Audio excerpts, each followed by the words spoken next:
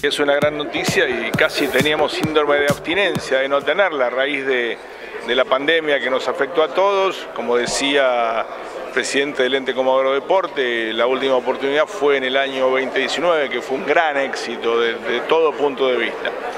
Eh, me parece que aquellos que representamos a las distintas instituciones de la ciudad, lo que tenemos que hacer es ayudar y poner el hombro para que sea un éxito eh, porque realmente y más allá de cuestiones políticas que en esto no juegan para nada, eh, cuanto menos en lo que a mi institución refiere, y creo que esto es para todos, eh, la Municipalidad de Comodoro Rivadavia nos ha dado siempre un gran apoyo para el desarrollo de cada uno de los deportes que representamos. Así que creo que es una obligación moral que tenemos todas las instituciones de apoyar y lograr que la Expo Deporte sea un éxito, como ha sido siempre. Por supuesto, siempre tratamos de mejorar y de, aprender de los errores que tuvimos. Es decir, aquellas cuestiones que no han sido óptimas en la última edición de la Expo, seguramente acá sean reparadas.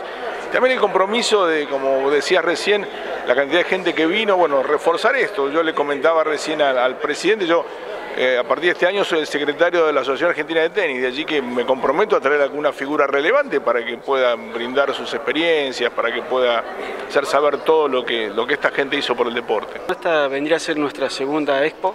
Eh, la primera la verdad que nos, resultó más que satisfactoria porque nos sirvió para que se conozca la arquería, que eh, si bien era conocida, no al nivel que ocurrió después del acto de, la expo.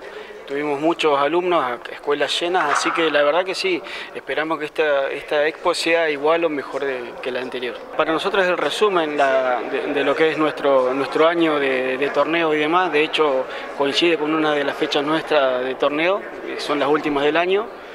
También nos sirve porque mucha gente no, o sea, si bien ve lo que es soltar una flecha, no conoce cómo es soltarla y tiene el espacio para hacerlo, se dan cuenta que cualquier persona lo puede hacer.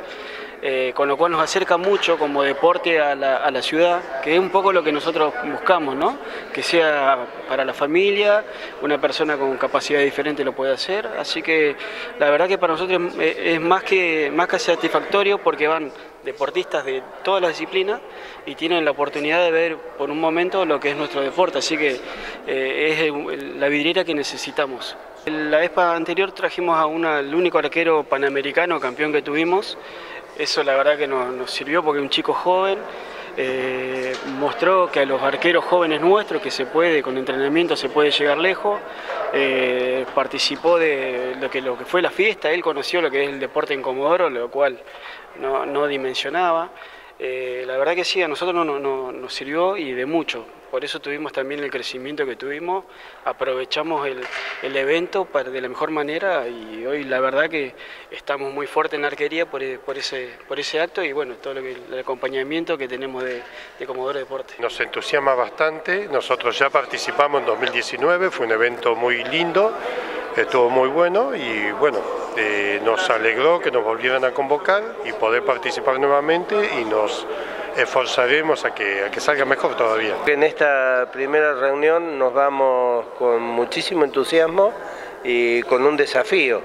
El desafío es, en el caso nuestro, de nuestra actividad que es libre y gratuita, tratar de que venga gente de afuera a conocer nuestra ciudad y tratar de ver de poder hacer un evento afuera del, predio y traer a la gente por hacer conocer la ciudad lugares que llegasen la bicicleta. Nosotros cada sábado hacemos la salida, como dijo Daniel, totalmente libre y gratuita, donde se convoca a todo aquel que quiera pasar 3, 4 horas bien, eh, salir a disfrutar, a conocer, a andar. Eh, eh, pasarla lindo y bueno, y de a poco ir implementando la bicicleta como, como un transporte en la vía pública también, ¿no?